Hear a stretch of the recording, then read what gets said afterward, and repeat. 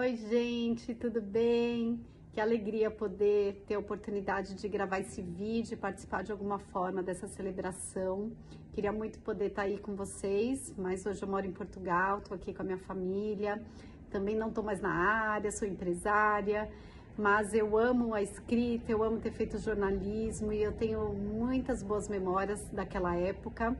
Quem sabe um dia eu consigo voltar para a área, é um sonho que eu tenho. Quem sabe eu consiga dar asas a tudo que eu tenho escrito por aqui. Mas enfim, eu queria deixar o meu abraço forte a todos vocês e dizer que eu tenho saudades. Tá bom? Obrigada pela oportunidade desse vídeo. Espero receber vídeos e fotos desse momento precioso. Um beijo grande, viu?